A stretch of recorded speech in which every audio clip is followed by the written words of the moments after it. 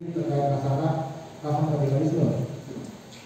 Nah, ada kata juga nih, sama nih. Kita punya tugas pemerintah, Kamil, Kemenang, kami kepolisian